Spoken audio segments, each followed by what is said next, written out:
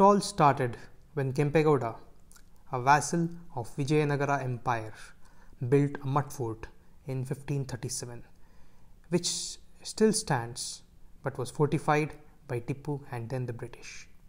But Bangalore has been a center of affairs for a long time before that. To be precise, from 890 AD.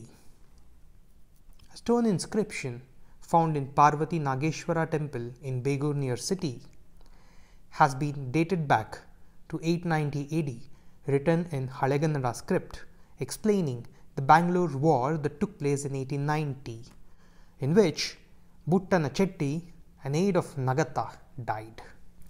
This was discovered by great historian R. Narasimhan in Epigraphia Carnatica.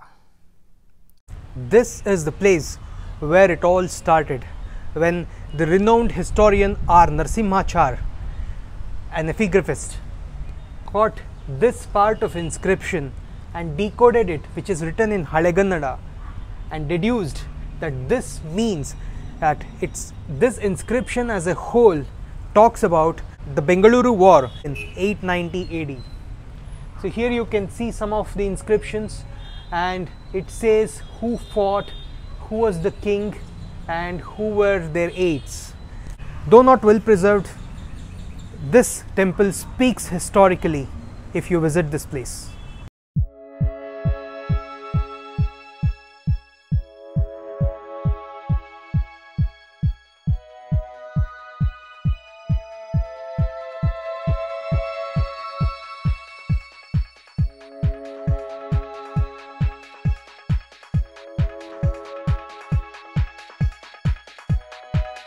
This temple complex that you see here, Nagareshwara temple, was decommissioned by Western Gangas around 800 AD. There is a very old stone inscription which says Bengaluru was a place of prominence back then in the reign of Western Gangas.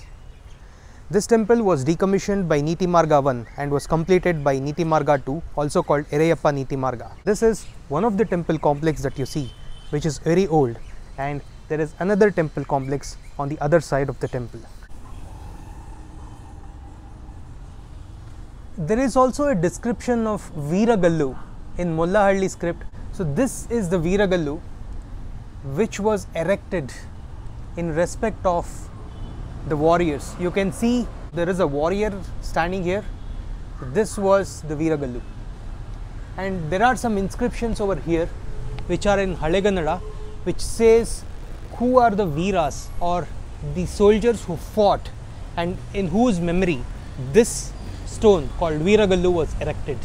This was erected right after the Bengaluru War in 890 AD. Bangalore was ruled by Western Ganga dynasty from 4th century to 10th century AD which was recorded. Slowly as the affairs of geopolitical changes happened, Bengaluru in 1004 AD was captured by Cholas, and years later in 1117 AD, Cholas were defeated by a great Hoysala king, Raja Vishnuvardhana, in Battle of Talakad to win Bengaluru. Coincidentally, it was his brother based on whom we have an anecdotal story of how the name of Bengaluru was arrived. It was Raja Veeraballala II who was lost in forest and tired. An old lady offered him boiled groundnuts and this came to be known as Bendakaluru. Bendakalu means boiled groundnuts and Bendakaluru means a place where he got boiled groundnuts which later was colloquialized to call Bengaluru.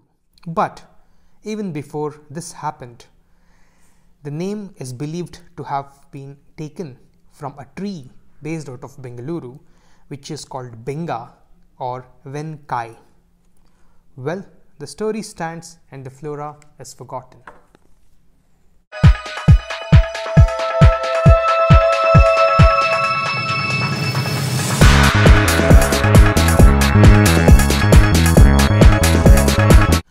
Kempegowda was sent as a vassal by Achyutadevaraya II of Vijayanagara Empire to defeat the Gangas. After defeating the Ganga Raja, Kempegowda wanted to build a stone fort, but Achyutadevaraya was afraid of the potential of Kempegowda and only let him build a mud brick fort.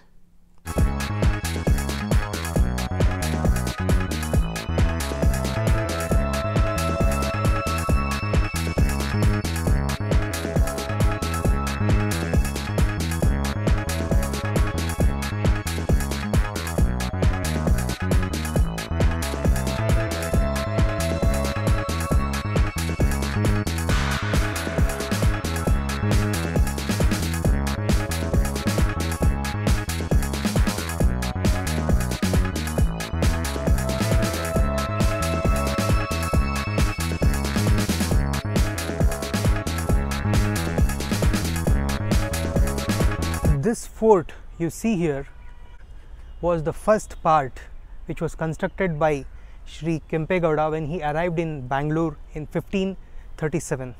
He was a vassal of Vijayanagara Empire, but he was so strong that Raja Achyutadeva II, who was the then Vijayanagara ruler, was afraid of his potential and only let him build the brick and mortar or the mud fort and not the fort that you see today. The fort that you see today is clad with metals and big and thick rock stones which were built in a later period by Tipu Sultan and later fortified by the British. But this area that you see here, the fort that you see here is the main part of the first Kempegowda fort which was built using mud and bricks.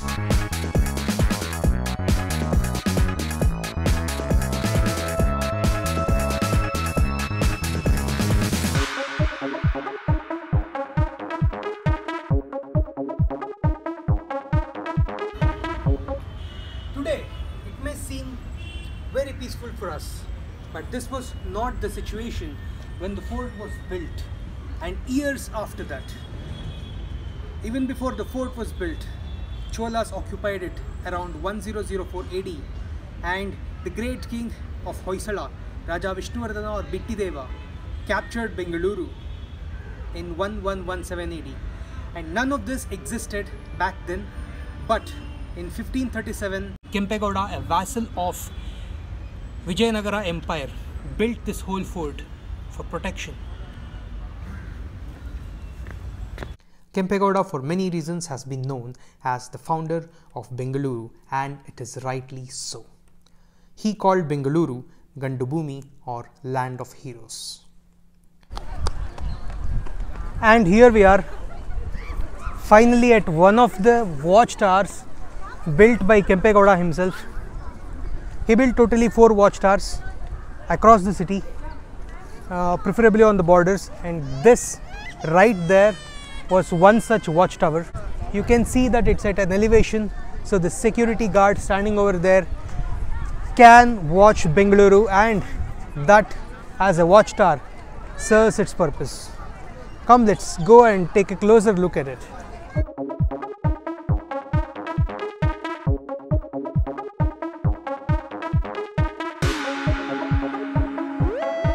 He took up administration and planning activities started building two tanks Kempapura Lake, which is now converted into a bus stand, and Karanjikere, which is now the Kantirava Stadium, and four watchtowers, which were in Lalbagh, Kempambudi Lake, Alsur Lake, and Mekri Circle.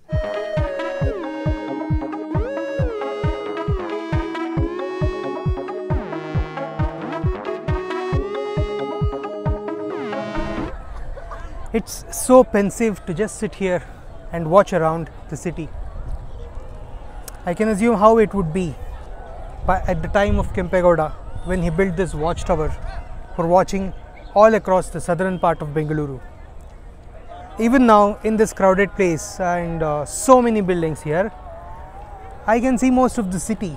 Just imagine back then in uh, 1550 or 1545 how this watchtower would have been and what would be the beauty of Bengaluru back then.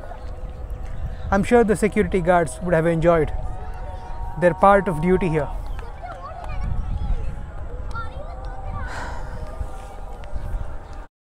He then divided Bengaluru into petes, which were called market.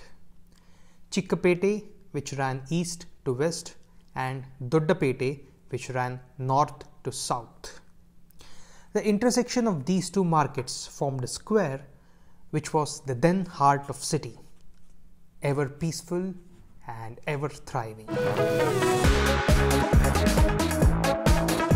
Like all other prominent places that start developing and flourishing, Bangalore wasn't immune to attacks.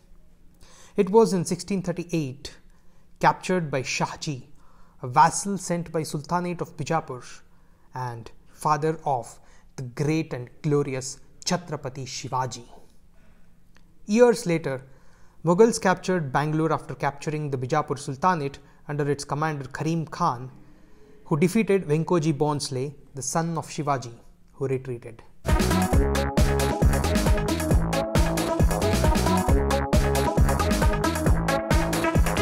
Finally, in the year 1689, Mughals were no longer interested and sold Bengaluru to Chikkadevaraya Odeyer of Mysore for 3 lakhs.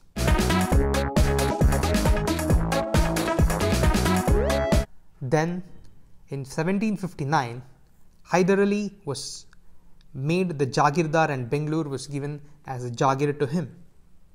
British had set their eyes on Bangalore and wanted to siege it right from 1768 due to its geopolitical importance.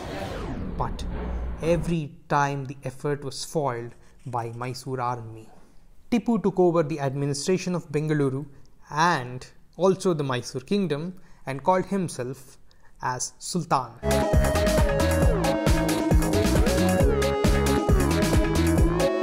This is the place where Tipu Sultan used to sit and mind his ministerial affairs. And this is the courtyard.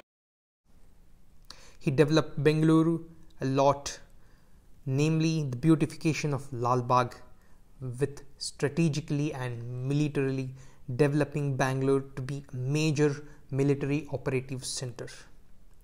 British couldn't capture Bengaluru in the first three Anglo-Mysore wars where they were badly defeated by the Mysore army headed by Hyder Ali first and Tipu Sultan in the next two wars.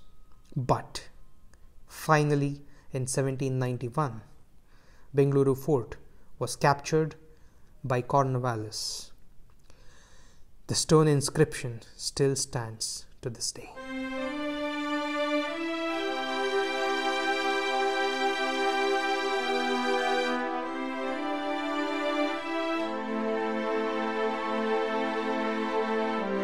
Bangalore played a prominent role thereafter in resisting Tipu Sultan till 1799 when he was killed in the Fourth Anglo Mysore War.